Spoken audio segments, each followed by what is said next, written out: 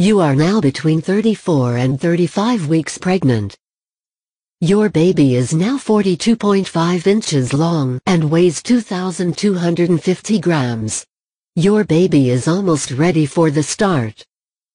The kidneys are working, the lungs are as good as ripe, and the nails on his fingers are almost finished. The soft downy hair that your child was covered, let loose and get into the fruit water. Because your child always takes sips of the amniotic fluid, he also gets the hairs inside.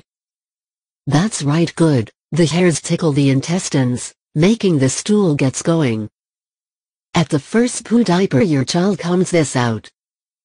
That first feces, meconium, looks black and green and is wet sticky because of the sugar in it. Amniotic fluid is a little sweet. Your child grows now not so hard anymore. He comes to us only a few a week. You have a big belly, then that does not necessarily mean that you have a large child gets. And vice versa does that apply, a small belly is not to say that you were a little child receives. The size of your stomach is in addition to the weight of the baby is also determined by the firmness of your ABS, the amount of amniotic fluid, the extent to which you hold moisture and fat and your own figure. Are you small, then comes your stomach more forward, simply because there is little room to grow in length. Are you long, then you have often a flatter stomach.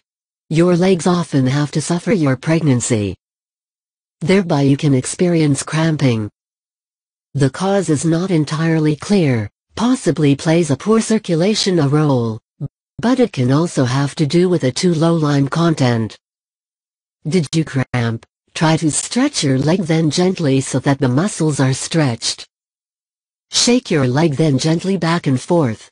If you cannot still hold your legs, then you suffer from restless legs or itching legs.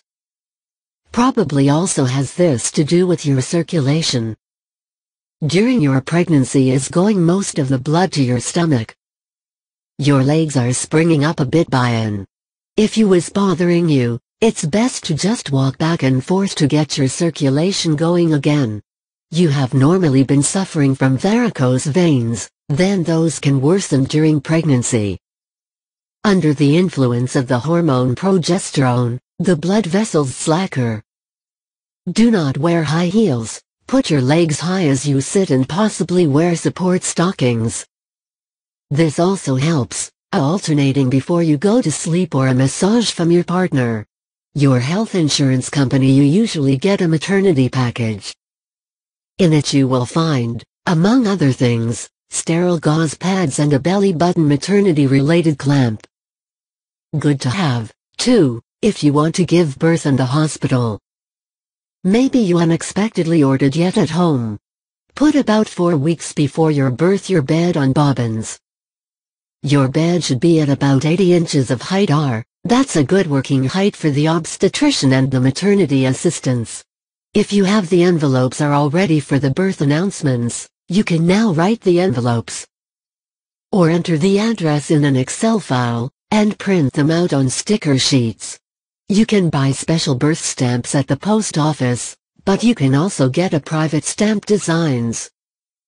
To do this, use soon, such as a picture of your newborn baby.